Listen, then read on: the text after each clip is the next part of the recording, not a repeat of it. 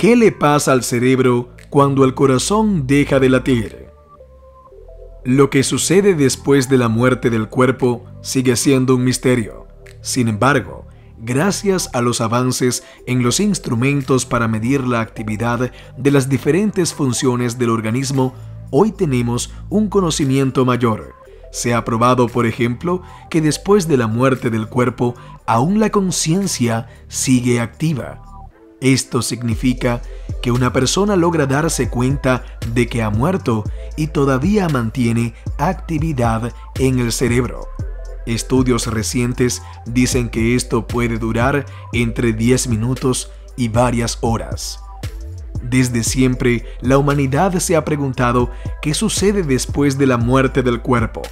En la actualidad, se sabe que en realidad la muerte no es un instante como tal, sino un proceso en el que hay toda una serie de cambios al momento de iniciarse y otros adicionales cuando el corazón deja de latir.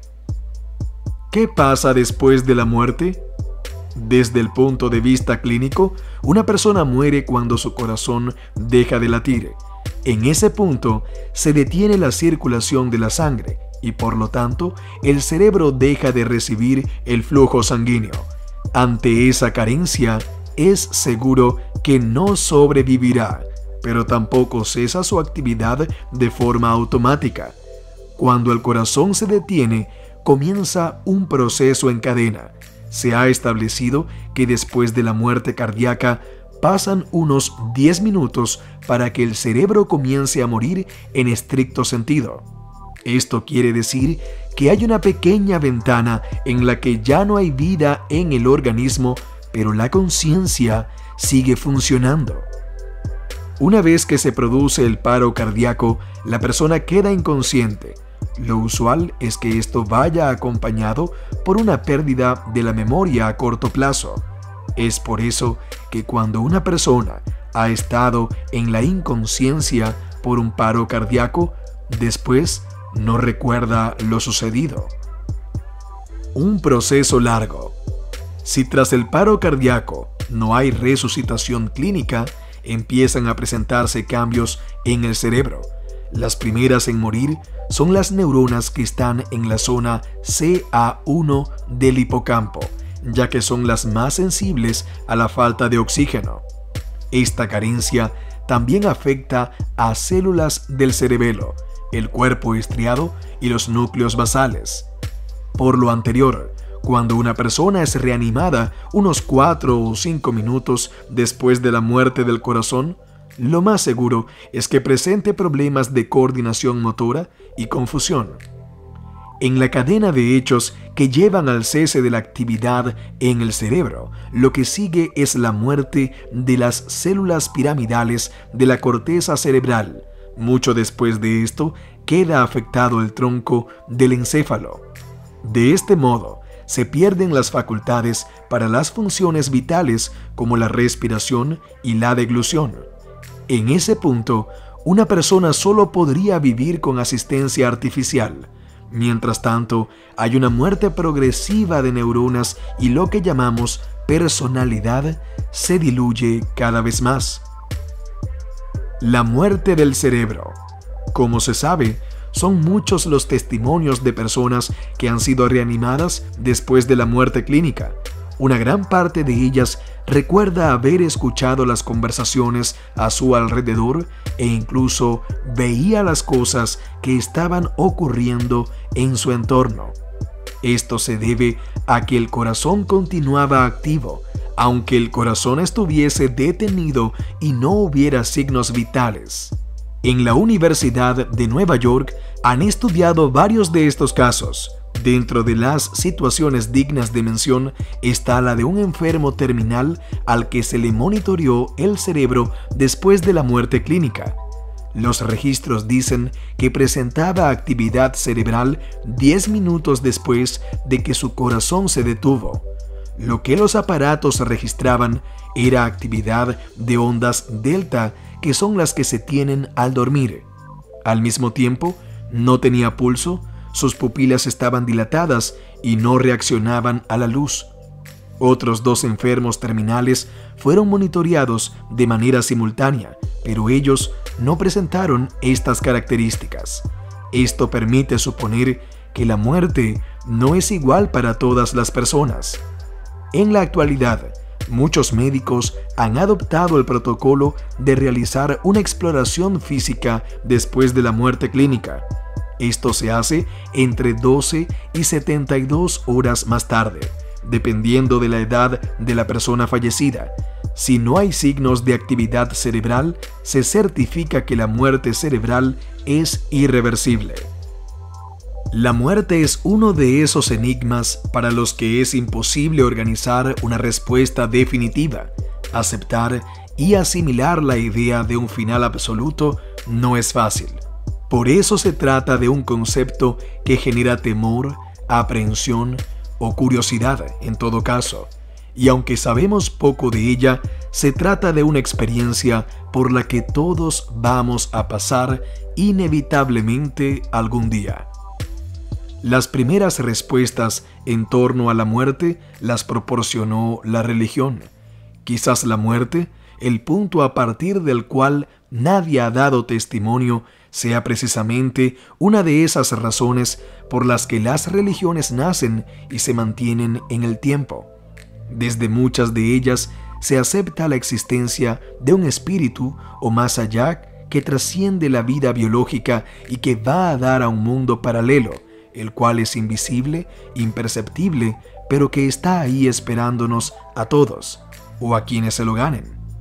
La ciencia también ha entrado en el intento de descifrar el enigma. Aunque hay muchos científicos que tienen creencias religiosas, formalmente la ciencia aborda al hombre como un ser netamente biológico, cuya única existencia no va más allá del último latido de su corazón.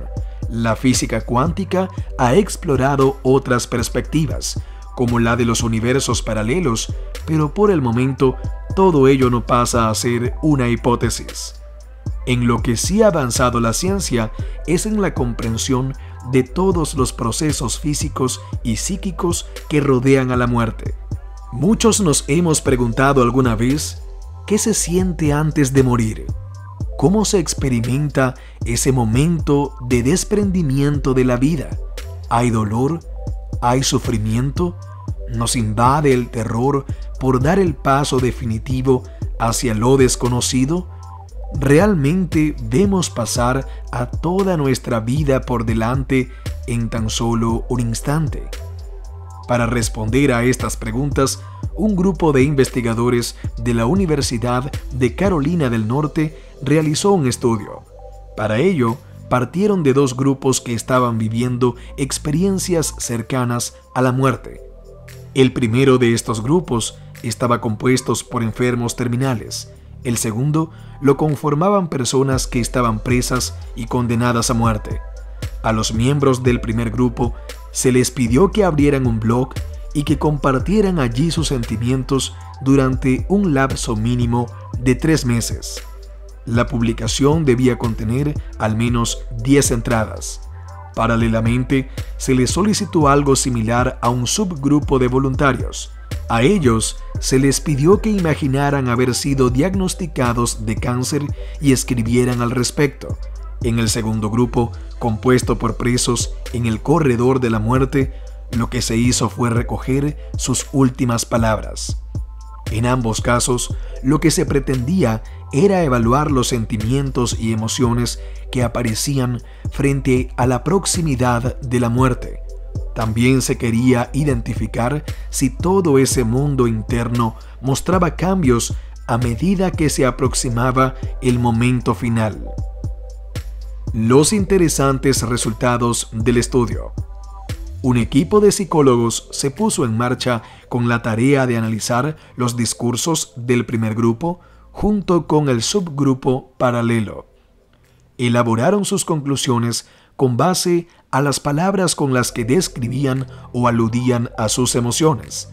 A partir de ello, pudieron llegar a unos interesantes resultados. El primero de ellos fue que los enfermos terminales expresaron más emociones positivas que el grupo de voluntarios. Asimismo, entre más próximo estaba el momento de la muerte, más positivos eran sus mensajes. Con los convictos a punto de morir ocurrió algo similar. Sus discursos finales no estaban centrados en el dolor, el arrepentimiento o el odio hacia las autoridades que habían decretado la pena de muerte. Por el contrario, sus palabras estaban llenas de amor, comprensión y significado afectivo. En ambos grupos sobresalían las alusiones a la religión y a la familia. Este estudio concluyó que el proceso de morir es menos triste y aterrador y más feliz de lo que se piensa. Aunque la muerte como tal es un concepto que genera angustia y miedo por la incertidumbre que la rodea, más allá de la fe de cada uno, a la hora de enfrentarla conscientemente, las personas tienden a evolucionar, tanto que terminan percibiendo su propia muerte como algo constructivo y lleno de sentido. Al parecer, la capacidad de adaptación del ser humano es gigantesca y se expresa en toda su plenitud durante los momentos límite como la muerte. Psicológica y fisiológicamente, las personas desarrollan mecanismos que les permiten afrontar la realidad del fin con sabiduría. Los hombres temen a la muerte como los niños tienen miedo a la oscuridad, y de la misma manera que este miedo natural de los niños es aumentado por las historias que se les cuentan, lo mismo ocurre con el otro. Francis Bacon Edición de audio y video de Albert Lennon Video Productions